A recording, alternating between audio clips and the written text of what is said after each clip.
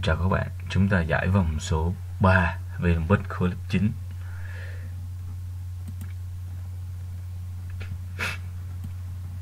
Bài thi số 1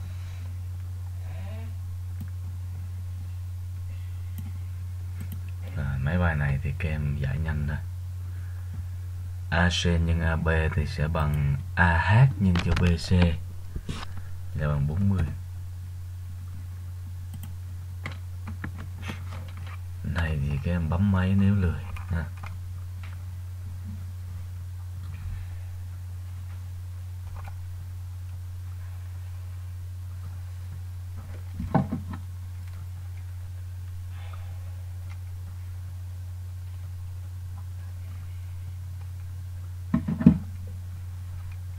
bằng 7 kìa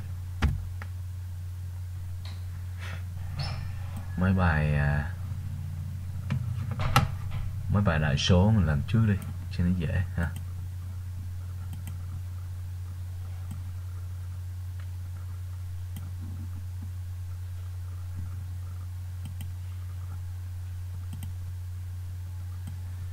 Câu số 5 căn của 13 cộng 4 căn 3 trừ căn của 13 trừ 4 căn 13 rồi 4 căn 3 bằng 2 kìa. bài toán căn hai lớp à.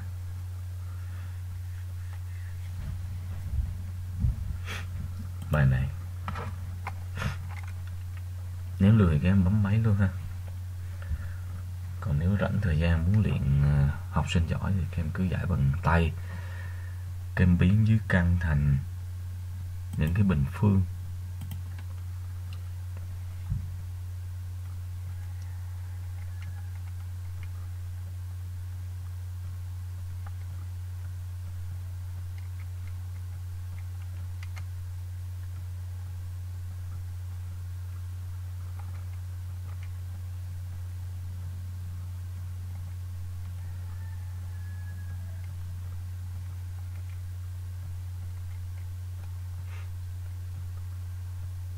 bằng một nha.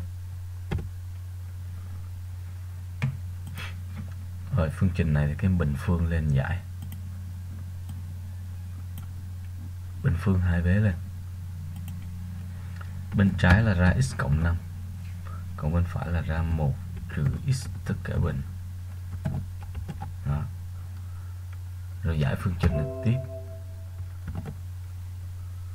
Các em sẽ có là x bình trừ 2x chuyển qua là trừ 3x cộng 1 là thành cộng 4 bằng 0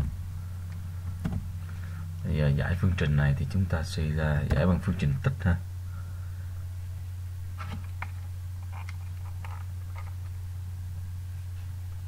Trừ 4 xin lỗi các em. 5 chuyển qua là âm âm 5 cộng 1 là âm 4 như vậy ta có một nghiệm là x bằng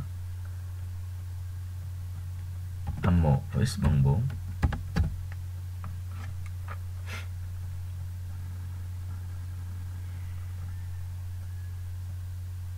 như vậy có hai nghiệm lận, nhưng mà căn x cộng 5 phải xác định nè. Như vậy x phải lớn hơn hoặc bằng trừ 5 thì mới lấy. Vậy ta lấy x bằng 4 thôi. Bởi vì x bằng trừ 1 là nó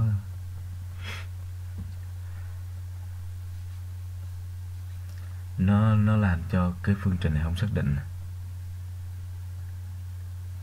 à xin lỗi x bằng 4 là không xác định chứ các em để ý nha. X bằng trừ 1 thay vô đây thì hai vế nó bằng nhau. Nhưng mà x bằng 4 thay vô đây thì vế trái là ra 3 còn vế phải là ra trừ 3 vậy lại đúng rồi. X bằng trừ 1 mới đúng những phương trình mà có chứa căn, người ta gọi phương trình vô tỷ rồi các em cứ bình phương mất căn rồi giải bình thường, sau đó thử lại kết quả. Giá trị nào thỏa thì ta lấy rồi bài cuối cùng. Đây là một bài toán cơ bản của bồi dưỡng học sinh giỏi lớp 9 đó. chúng ta lần lượt biến những biểu thức dưới căn thành à, bình phương, đủ. Rồi mình phá phá dần các cái lớp căn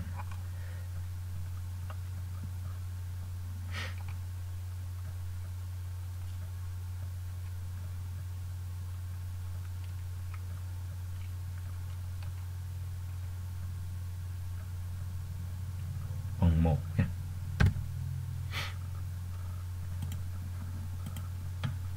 câu số 9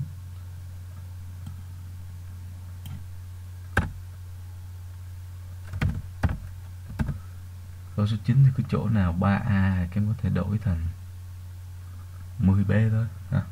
lúc đầu nó bằng 16A bình, trừ cho 40 AB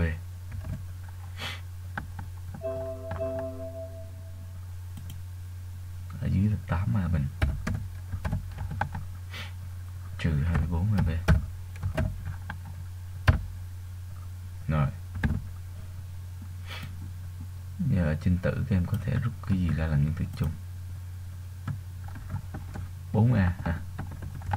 Các em rút 4A ra làm nhân tử chung thì 16A bình rút 4A là còn 4A 40 AB rút 4A thì còn 10B ở dưới các em rút 8A là ở trong còn A, trừ cho trừ cho 3B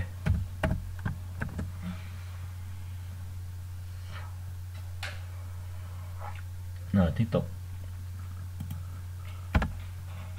Bây giờ chỗ nào 3A thì ta thay bằng 10B ha. Giờ em lấy cái này em nhân cả tử và mẫu cho để tránh phân số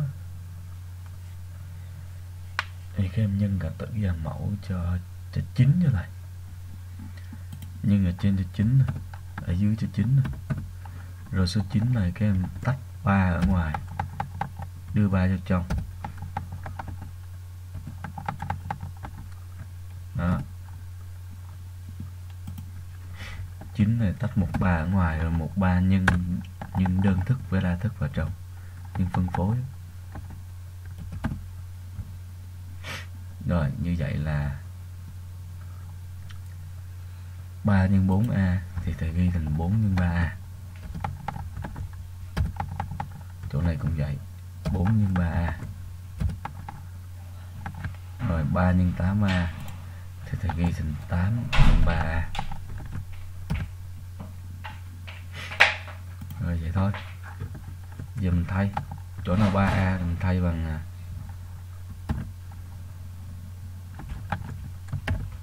chỗ nào 3A mình thay 10B thôi. Đây nè 3A thay 10B đây 3A thay 10B đây, thay 10B 10B giờ nó còn B không nữa các em. 4 x 10 là 40B còn ở trong này là 40 trừ 30 là 10B dưới là 80B nhân cho 10B trừ 9B là thành B. Thì cuối cùng là ở trên B bình, ở dưới B bình rút gọn hết ha.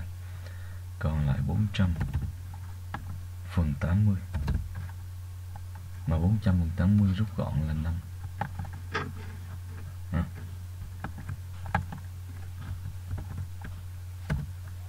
năm rồi giờ tới mấy bài hình.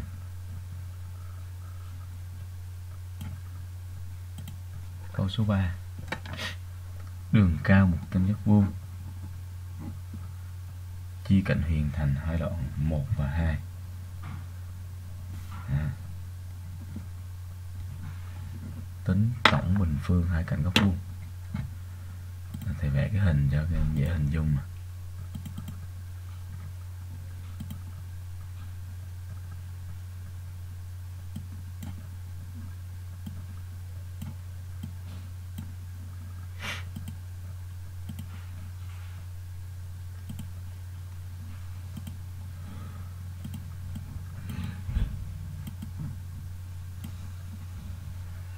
Giác vuông đường cao. Rồi, hai cạnh bằng 1 và 2 giờ hai cạnh góc vuông thì gọi là x và y đi. Vậy thôi. Như vậy các em sẽ có công thức gì? X bình. X bình là bằng à, 1 nhân 3 bằng 3 even even là bằng 2 nhân 3 bình phương một vuông mà hình chiếu lên cạnh huyền đúng không ạ? 2 nhân 3 thành 6 như vậy là 3 cộng 6 thì bằng 9 tổng bình phương. Hai cạnh góc vuông. Bằng 9 ha.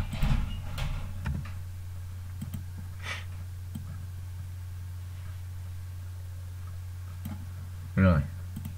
Cho tam giác vuông có độ dài hai cạnh góc vuông là 3 và 4 thì cạnh huyền là 5 định lý Pythagore à, ừ, dễ vậy. Câu số 6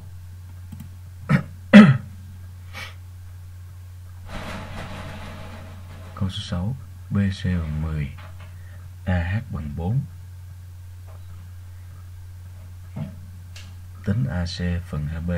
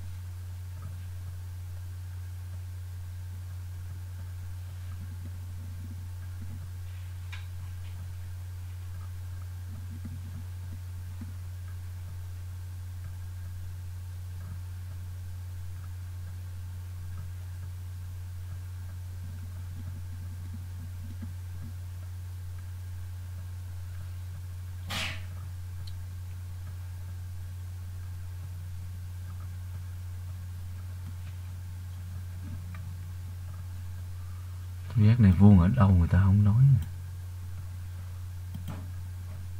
Chắc tự hiểu là vuông ở A.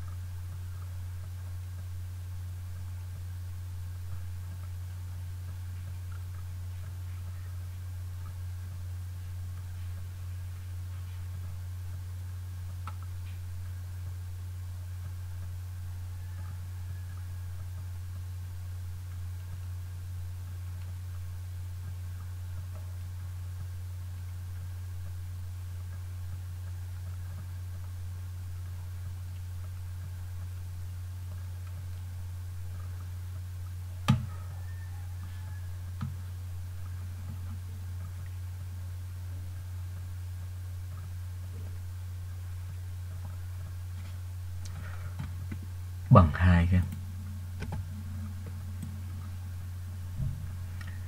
giới thiệu nhanh cách làm ha. Nó có nhiều cách làm lắm. Giờ tôi giới thiệu cái cách đơn giản nhất đi. Là AC là lớn hơn vậy thì cho AC là ít đi. Còn AB là Y. Nó phù hợp với hình này hơn nè. Rồi đường à, cao thì bằng 1 còn bằng 10 vậy các em sẽ có ờ, cái công thức này này. x cộng y tất cả bình là bằng x bình cộng y bình cộng cho 2xy ha. Đó. Mà x bình cộng y bình là bằng 10 bình, là bằng trăm là lý Pythagore cộng 2 nhân x nhân y là 2 x nhân y là 4 nhân 10 hệ thức lượng x nhân y 4 nhân 10 là 40 vậy đây nó bằng 180 nha. Vậy từ đây các em sẽ suy ra là x cộng y sẽ bằng căn của 180 ừ.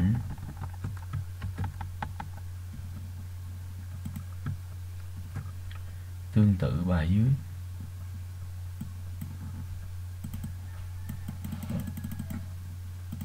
Tương tự cái dòng dưới. Thay đổi dấu cộng, dấu trừ ha. Cái chỗ này dấu trừ. Đây là dấu trừ. Đây thành 20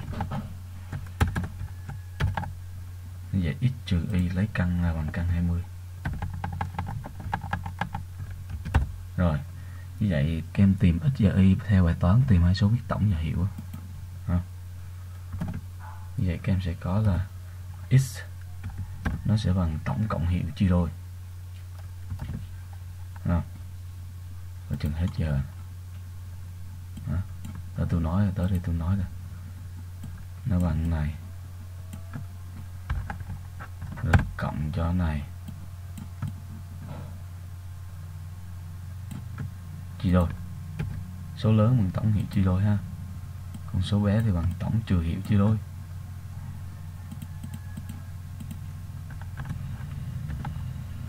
y rồi giờ các em lấy x chia y thôi là ac chia b đó. Các em lấy hai cái này chia nhau. À, trở về bài toán rút gọn căn thôi. Y trên x sẽ bằng à xin lỗi x trên y á. Số lớn chia số bé mà. Ac chia b mà. Bằng hai cái. Vậy nha. Rồi ta nộp bài.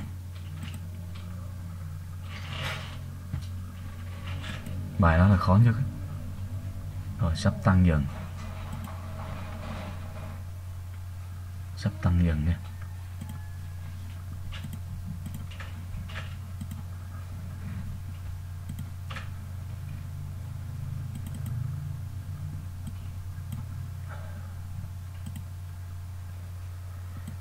Trừ 25 là số đầu tiên khỏi phải tính.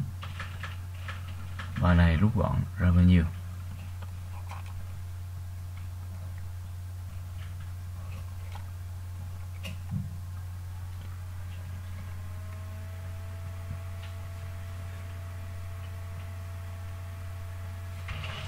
âm 145 bài này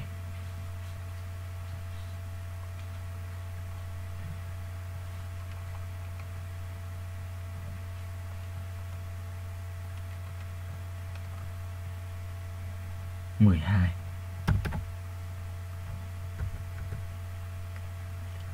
trong bài này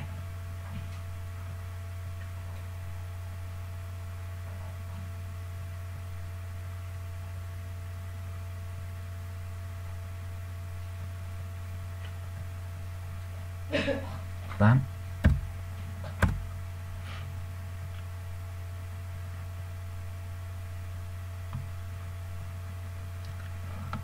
cái bài này là chính. Bài làm chính hồi còn thời gian thì hướng dẫn sau ha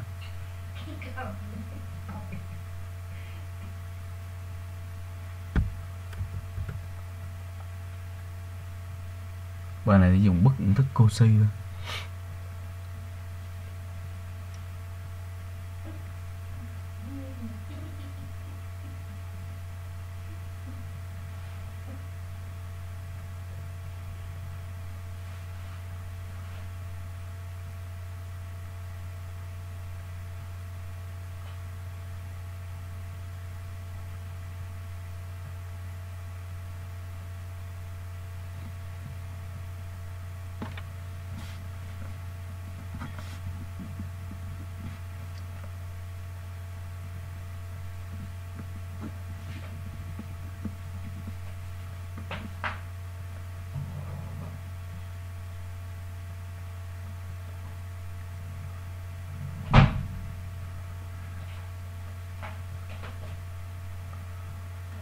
Đầu khó rồi đó. Mấy câu khó thời gian cuối cùng giải ha. Cái này là căn 0,09 cộng căn 2,89 cộng 1 3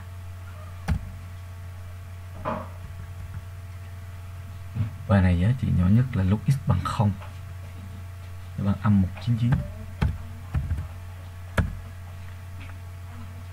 Bài này bấm máy đi. Cho đỡ mất công. Âm 11 Nhân 12 Nhân 2 Âm 264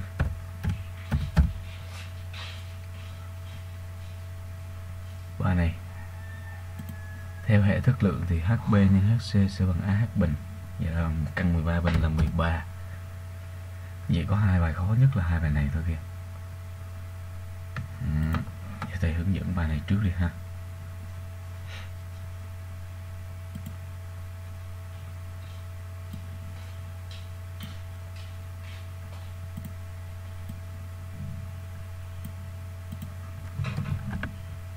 Đây, bài này tôi hướng dẫn. Cái biện thức đó thì đặt tên là P. Rồi tách ra đi. X bình phần 2007 x bình là bằng trên 2007 và trừ do 2x trên 2007 x bình là bằng 2 trên 2007 x. Rồi cộng cho này. Rút gọn 207 với 207 x bình là bằng 1 trên x bình.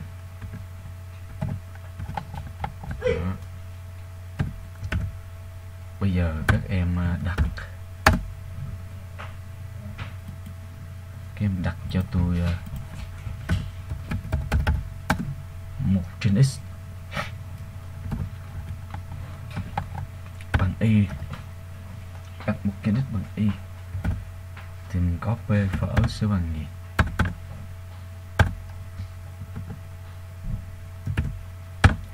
P sẽ bằng 1 phần x bình là y bình đúng chưa? Trừ cho 2 trên 2007 y thì 1 trên x là y được cộng cho 1 trên 2007 đó. Rồi giờ mình dùng máy tính mình tìm.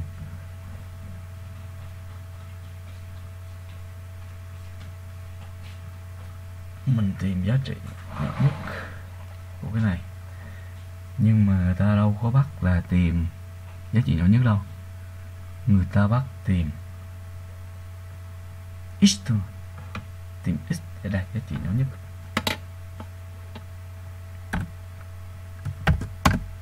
Vậy cái này sẽ đạt đạt min khi biến đổi thôi. Khi y bằng nó sẽ biến thành y trừ 1 phần 2007 tất cả bình cộng cho một giá trị gì đó ha. Giá trị gì đó là giá trị nhỏ, nhất á. Nhưng mà ở đây mình không quan tâm giá trị nhỏ nhất bằng bao nhiêu. Mình chỉ quan tâm là đạt được khi nào rồi như vậy là đạt được min khi y bằng 1 trên 2007 mà y là một trên x đó kìa như vậy mình suy ra là x sẽ bằng 2007 em hiểu nổi không? Không hiểu nổi thì thầy giảng thêm chỗ này một chút nữa nè. Biểu thức y.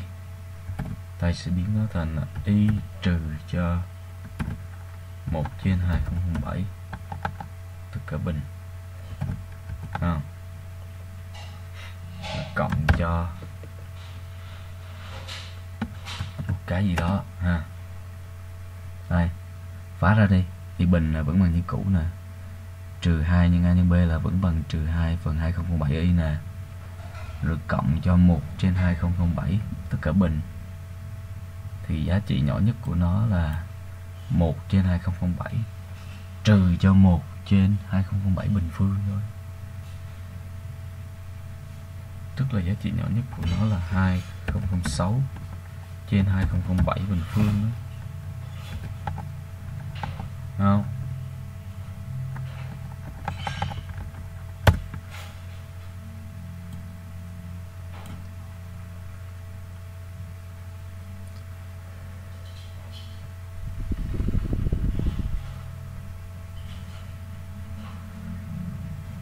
Rồi, đặt minh khi y bằng 1 trên 207 Vậy các em nhé. Ngẫm nghĩ đi là hiểu rồi, Đây em có thời gian giải thích nhiều rồi.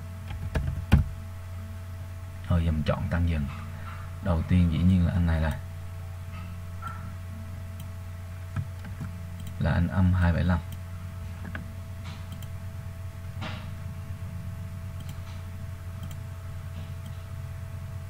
Rồi tới anh âm 264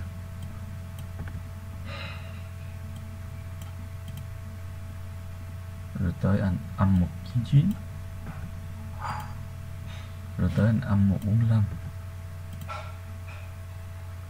rồi tới số 3 rồi tới 8 rồi tới 9 à 9 thì chưa giãn à. à còn 10 phút thì giãn với tội gì, đúng không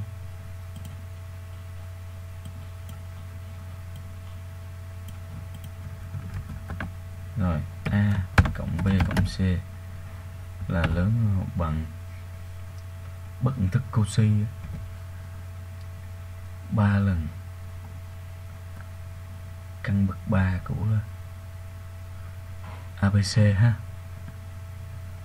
Ba lần căn bậc 3 của ABC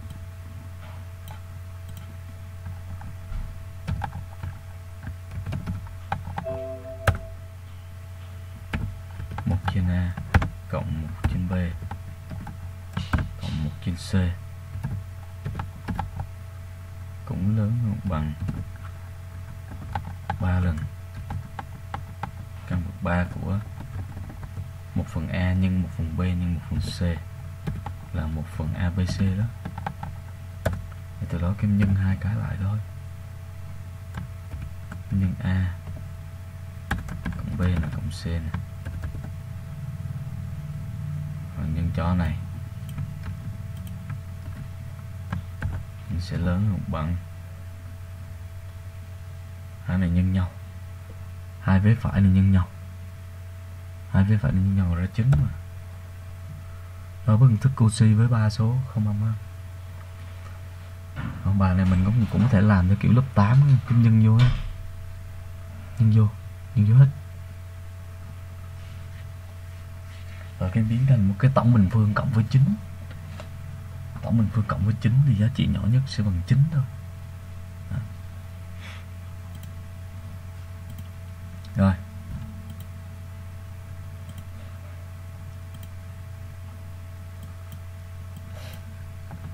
mười hai, mười ba, hai nghìn lẻ bảy. Vậy các em nhé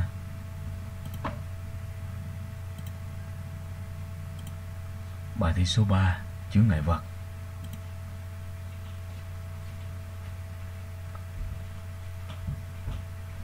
AH nhân BC bằng AB nhân AC quá đúng.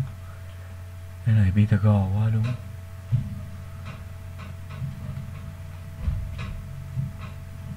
AH bình HB HC trời quen quá. Vậy cái này sai rồi.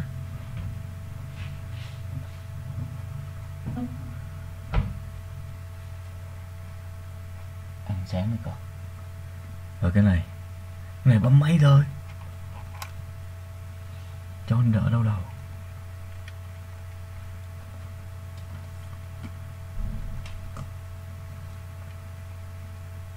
một trăm mười tám nè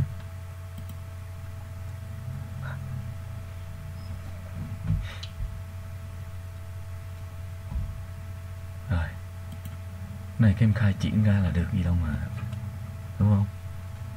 Khai triển ra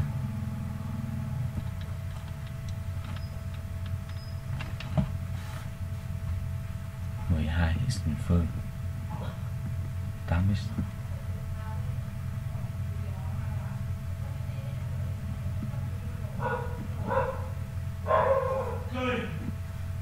sáu bốn hai bốn trừ mười hai cho 12x bình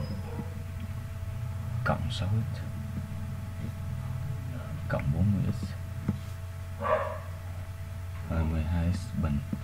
Trừ 10x trừ 12 trừ cho 24x cộng 12 cộng 12x bình. Trừ 6x cộng 40x hệ số của x bình sẽ là 24 24 x. Bình.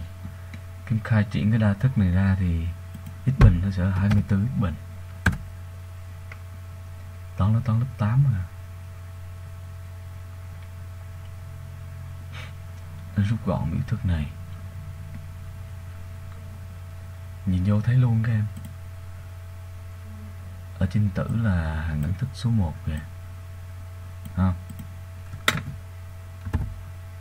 Ở trên tử là x nè. Cộng cho căn 3 bình ở dưới là hàng đẳng thức số 3 x cộng căn 3 nhân cho x trừ căn 3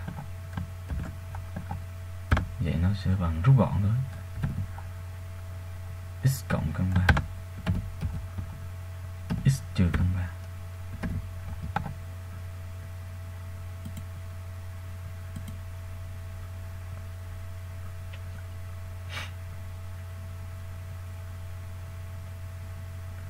rồi rút gọn như này. Kết quả nó sẽ ra là